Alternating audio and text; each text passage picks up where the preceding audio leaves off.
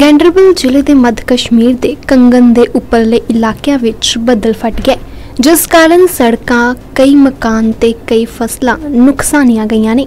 Srinagar, Ladakh highway ਵੀ ਬੰਦ ਕਰ ਦਿੱਤਾ ਗਿਆ ਸਥਾਨਕ ਲੋਕਾਂ ਨੇ ਦੱਸਿਆ ਕਿ ਐਤਵਾਰ ਦੇਰ ਰਾਤ ਮੱਧ ਕਸ਼ਮੀਰ ਦੇ ਗੈਂਡਰਬਲ ਜ਼ਿਲ੍ਹੇ ਦੇ ਬਾਗਪਤੀ, ਸਰਫਰਾ, ਸੁੰਬਲ, ਬਾਲਾਗੁੰਡ ਅਤੇ ਹੋਰ ਵੀ ਕਈ ਇਲਾਕਿਆਂ ਦੇ ਵਿੱਚ ਬੱਦਲ ਫਟਣ ਦੀ ਘਟਨਾ ਵਾਪਰੀ ਹੈ। ਦਿਲਚਸਪ ਗੱਲ ਹੈ ਕਿ ਬੱਦਲ ਫਟਣ ਤੋਂ ਪਹਿਲਾਂ ਸੁੰਬਲ, ਬਾਲਾਗੁੰਡ ਵਿਖੇ ਚਿੱਕੜ ਕਾਰਨ ਲੋਕਾਂ ਨੂੰ ਕਈ ਪਰੇਸ਼ਾਨੀਆਂ ਦਾ ਸਾਹਮਣਾ ਕਰਨਾ ਪੈ ਰਿਹਾ ਸੀ ਕਿਉਂਕਿ ਕਾਫੀ ਲੰਮੇ ਸਮੇਂ ਤੋਂ ਮੀਂਹ ਪੈ ਰਿਹਾ ਜਿਸ ਕਾਰਨ ਸੁੰਬਲ, ਬਾਲਾਗੁੰਡ, ਚਿੱਕੜ ਦੀ ਚਪੇਟ ਦੇ ਵਿੱਚ ਆ ਗਿਆ ਸੀ। ਪਰ ਬਾਰਡਰਜ਼ ਰੋਡ ਆਰਗੇਨਾਈਜੇਸ਼ਨ ਦੇ ਵੱਲੋਂ ਸੜਕਾਂ ਨੂੰ ਸਾਫ਼ ਕਰ ਦਿੱਤਾ ਗਿਆ ਸੀ।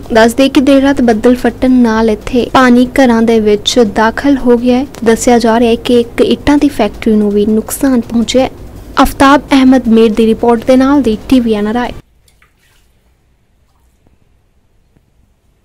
मेरा नाम अब्दुल जलील खान है तो हालात ऐसे हैं कि रात एक दो घंटे जब ज़बरदस्त बारिश हुई उसके बाद सर, यहाँ पर ख़तरनाक किस्म का सैलाब आया, जिसने इसके माल, ज़मीन और बच्चों को लपेट में ले लिया।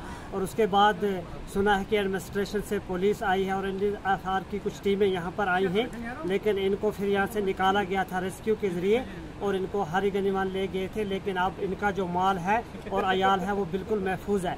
लेकिन इनकी ज़मीन ख़त्म हो चुकी है और इनके मकान खोखले बन चुके हैं। इसके लिए एडमिनिस्ट्रेशन भी कई हद तक जिम्मेवार है। इसलिए कि जो ये नाला आ रहा है इनके मकान की सेज पर इन्होंने लोगों ने तामीर इसमें बनाई हुई है मकान बनाए हुए हैं और पानी का रास्ता जो है वो यहाँ से ऊपर रहने वाले लोगों ने बिल्कुल बंद करके नाला सीधा करके इस मकान की तरफ़ रुख करके बनाया हुआ है। ऐसे हालात सर किसी वक्त भी हो सकते हैं। ये कोई बड़ा जानलेवा हादसा हो सकता है। और ये इन लोगों का खुद किया हुआ हादसा है क्योंकि इन लोगों ने पानी का जो रास्ता है वो बिल्कुल बंद कर रखा है। कहीं पर डैम बनाए हुए हैं कहीं पर कूले बनाई हुई हैं। इसलिए मेरी गुजारिश है ये इंतजामिया से कि नाले नाले को आज़ाद किया जाए और पानी का जो रास्ता है वो सीधा किया। उसको छोड़ा जाए।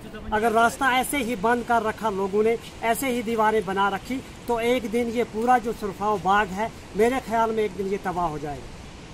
ये मैं मोहम्मद कासम तेजार सोसा बाग पति में रहता हूँ। ये रात सात बजे जो ही बादल शुरू हुए तो सीधा ऊपर से ब्लास्ट, एक नहीं, ये पाँच छः ब्लास्ट हुए। तो उसी के साथ बस आधे घंटे के बाद पूरा ये नाला हाई लेवल में आ गया तो पूरी ज़मीन को दबा लिया। तो और आधा घंटा गुजरा तो मकान को टक्कर लगा दी।